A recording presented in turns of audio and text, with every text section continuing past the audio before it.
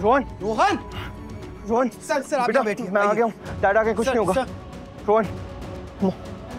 Doctor देखिए ना। Doctor uncle देखिए ना क्या हो गया इसे? हाँ बेटा मैं चेक करता हूँ। माँ माँ का बड़ी माँ हाँ जी। रोहन के पास बैठो। माँ। आप लोग बताएँगे एग्जैक्टली हुआ क्या था? वो रेलिंग से गिर गया था।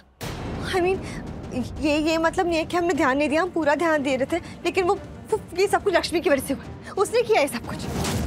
व्हाट मतलब फ़ोन पे तो ये बताया था कि ये रेलिंग से गिरा था। जी जी डॉक्टर रेलिंग से गिरा। डॉक्टर आप आप चेक कीजिए ना प्लीज़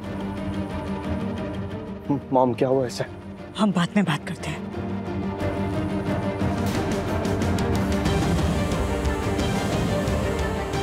कुछ बात करनी है।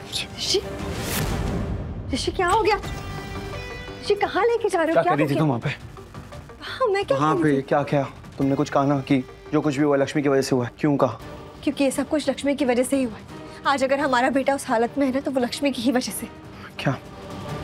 तुम क्या बोल रही हो मनिष्का ये पॉसिबल नहीं है लक्ष्मी ऐसा कुछ कर ही नहीं सकती है। तुम ये गलत इल्ज़ाम लगा रही हो लक्ष्मी पे। नहीं मैंने खुद देखा है अपनी आँखों से।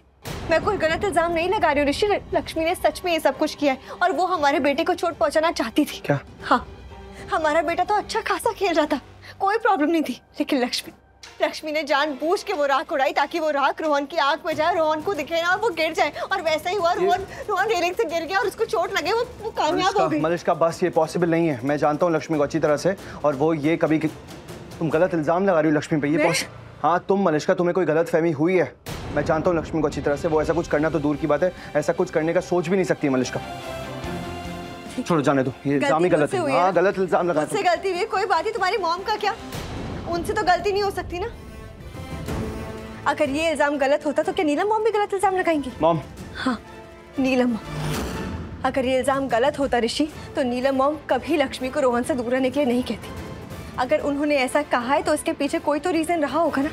और उसकी वजह यही है कि ये सब कुछ लक्ष्मी ने किया है। नहीं मान रहा मैं। नहीं मान रहा कि लक्ष्मी ऐसा कुछ कर सकती है। नहीं मानता मैं। ऋषि का बस। अब बहुत हो गया। तुम्हें जितना मर्ज़ी लड़ना है लड़ लो लक्ष्मी से। जितने इल्ज़ाम लगाने लगा लो उस पर लेकिन उसकी ममता पर उसकी माँ होने पर कभी भी सवाल मत उठाना। क्योंकि लक्ष्मी इस पूरी दुनिया की सबसे बेस्ट माँ है। उससे अच्छी माँ हो ही नहीं सकती। रियली ऋषि ऐसा तुम सोचते हो? ऐसा तुम मान सकते हो? तुम तुम मान सकते हो कि शायद वो बेस्ट है। तुम उसे दोषी मानो या ना मानो इस बात से कोई फ़र्क नहीं पड़ता। और हमारे इस फैसले के लिए अगर तुम हमारे साथ लड़ाई करना चाहते हो लड़ना चाहते हो हमसे तो तो ठीक है लड़ो। लेकिन हम अपना फैसला कर चुके हैं और हमारा फैसला बदलेगा नहीं। ऋषि हम इस घर में किसी के भी हाथों किसी भी बच्चे को नुकसान नहीं पहुँचने देंगे। इसलिए लक्ष्मी को रोहन से दूर रहना होगा और ये हमारा फैसला है।